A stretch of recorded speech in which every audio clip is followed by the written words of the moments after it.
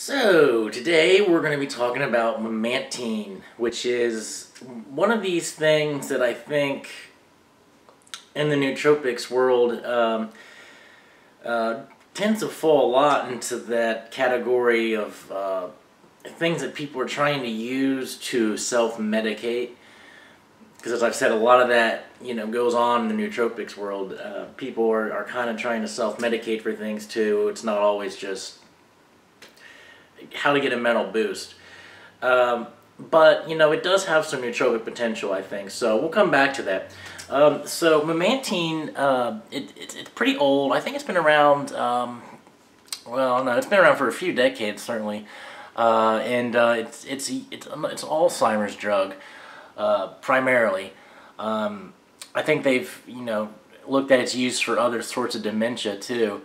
Uh, but that's the main clinical use, and there's a lot of um, other things that have been uh, looked at. Uh, some research that's going on, I think, still for like using it for other things. Uh, but um, it's uh, primarily an NMDA antagonist, um, or at least it's how it's thought of. Uh, it does have a pretty strong affinity for the D2 receptor as well um, that that's really like comparable to uh, the affinity that it has for uh, the NMDA receptor. And I've seen different things about this exact affinity for the D2 receptor. Maybe a little less. Maybe it's it's like actually has more affinity. But uh, it, we'll say it's in the same ballpark. Okay, so it, it does have some strong dopaminergic activity as well. And uh, that's one of the things I think is probably maybe a little underestimated about, or uh, I don't know, neglected or overlooked a lot about memantine.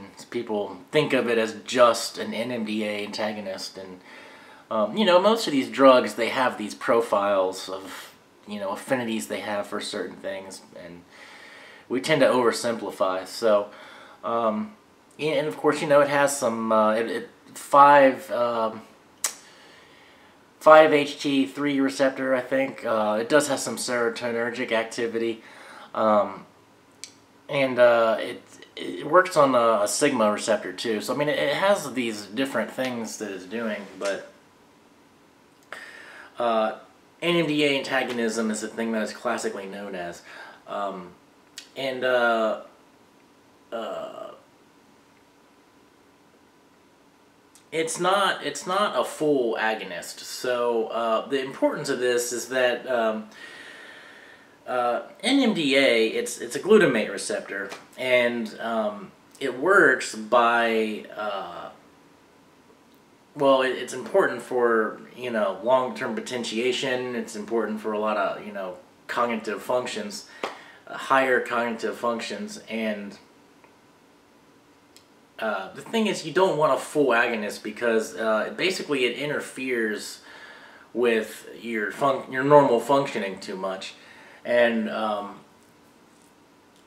the NMDA antagonism you get from memantine is not, it, it's really convenient because it allows you to uh, still function normally, uh, but it, it helps prevent this excess glutamate. So actually let's take a step back and look at why, why you use an NMDA antagonist in, um, uh, well, Alzheimer's disease, for example. So with Alzheimer's, uh, you know, there's still um, a lot that's not understood about it. But, um, you know, there, you get this uh, glutamate excitotoxicity. You've probably heard about this. It's, you know, if you have too much, uh, well, glutamate is an excitatory neurotransmitter. It's the primary excitatory neurotransmitter in the brain. And when you have too much of it, you overexcite the cell, the neurons, and uh, this, this kills them, basically. Uh, so, um, what you do with in Alzheimer's disease also these these plaques that you can get um, the amyloid beta plaques they uh, they kind of uh, they somehow I don't know how but they make the neurons more susceptible to this excitotoxicity. So um, you you get uh, you're really accept, um, susceptible to cell death in Alzheimer's. Obviously you know when you get it you know your brain atrophies. And uh, I guess the idea behind using an NMDA antagonist such as memantine is that it uh, it kind of blocks that uh, excess glutamate signaling, uh, but it allows you to still have normal functioning still.